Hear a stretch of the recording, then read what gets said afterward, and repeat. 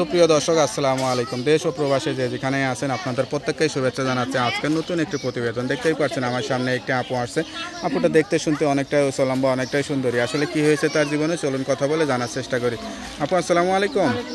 আপু আপনার নাম কি? জান্নাতে জান্নাতে। আপু কেমন আছেন আপনি? ভালো নাই। কেন ভালো নাই কেন? কিসের কষ্ট আম্মা আম্মা কাজ করে হয়তো ভাই ঘর বাবা নাই? বাড়ি কোথায়?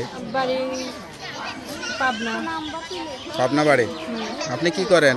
আমি আম্মা কাজ করতো এখন আম্মা অসুস্থ হওয়ার পর থেকে আমি আপনার মা যেখানে কাজ করতে সেখানে আপনি কাজ করেন?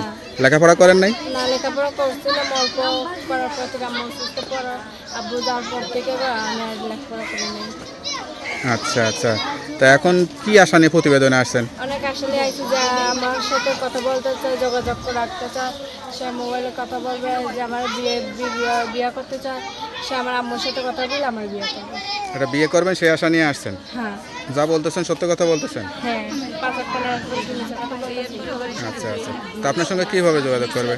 আমার সঙ্গে মোবাইলে যোগাযোগ করবে। নাম্বারটা মুখস্থ আছে? না। তা নাম্বারটা আমার কাছে দেন আমি দেখে বলে দিই। হ্যালো বিয়ার শুনতে পারলেন এক অসহায় গরিব পরিবারের মেয়ের জীবনের গল্প।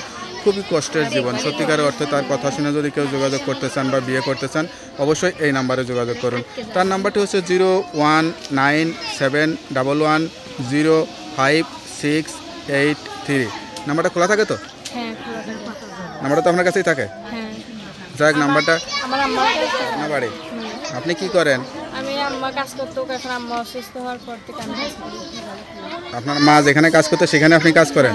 লেখাপড়া করেন নাই? না লেখাপড়া করছিলাম অল্প করার পর থেকে আম্মা অসুস্থ পর আব্বু যাওয়ার পর থেকে আমি লেখাপড়া করি নাই। আচ্ছা আচ্ছা। তা এখন কি আশা নিয়ে প্রতিবেদনে আসছেন? অনেক আশা নিয়ে আইছি যে আমার সাথে কথা বলতে চায় যোগাযোগ রাখতে চায় সে মোবাইলে কথা বলবে যে আমার বিয়ে বিয়ে- বিয়ে করতে চায়। সে আমার আম্মুর সাথে কথা বলে আমার বিয়ে করবে। এটা বিয়ে করবেন সেই আশা নিয়ে আসছেন? হ্যাঁ। যা বলতেছেন সত্য কথা বলতেছেন? হ্যাঁ। আচ্ছা আচ্ছা। তা আপনার সঙ্গে কীভাবে যোগাযোগ করবে? নাম্বারটা মুখস্থ আছে? তা নাম্বারটা আমার কাছে দেন আমি দেখে বলে দিই। হ্যালো বিয়ার শুনতে পারলেন এক অসহায় গরিব পরিবারের মেয়ের জীবনের গল্প। খুবই কষ্টের জীবন। সত্যিকার অর্থে তার কথা শুনে যদি কেউ যোগাযোগ করতে চান বা বিয়ে করতে চান অবশ্যই এই নাম্বারে যোগাযোগ করুন।